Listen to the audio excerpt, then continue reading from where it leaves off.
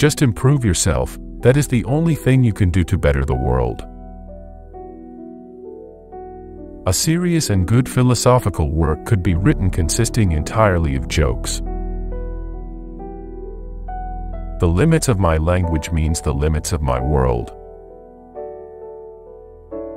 I don't know why we are here, but I'm pretty sure that it is not in order to enjoy ourselves.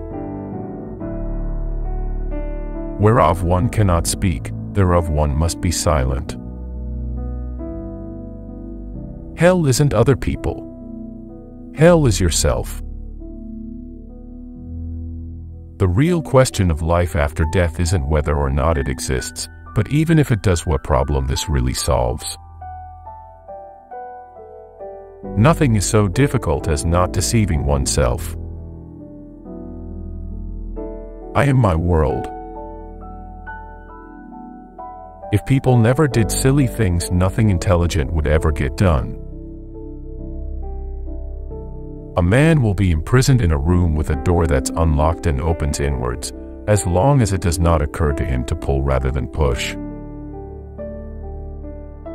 If we take eternity to mean not infinite temporal duration but timelessness, then eternal life belongs to those who live in the present. The problems are solved, not by giving new information, but by arranging what we have known since long. Don't for heaven's sake, be afraid of talking nonsense. But you must pay attention to your nonsense.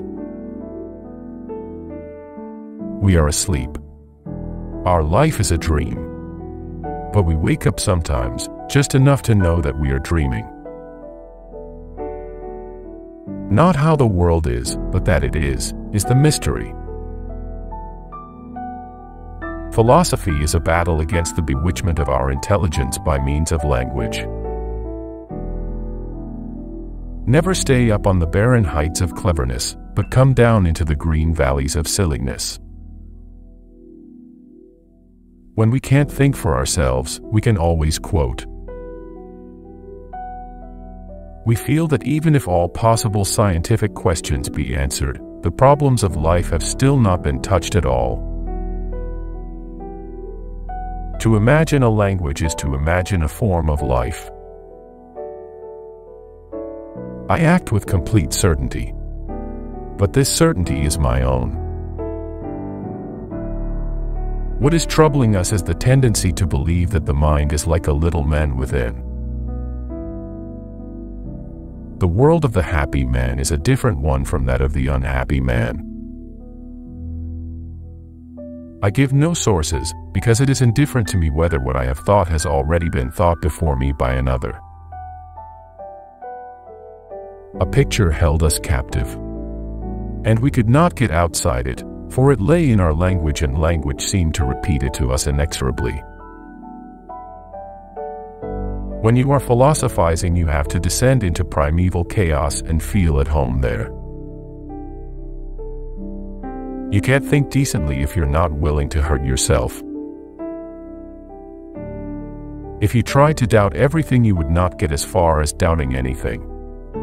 The game of doubting itself presupposes certainty, the mystical is not how the world is, but that it is.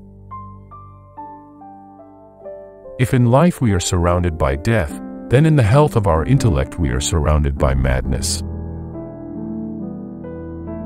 Logic takes care of itself, all we have to do is to look and see how it does it.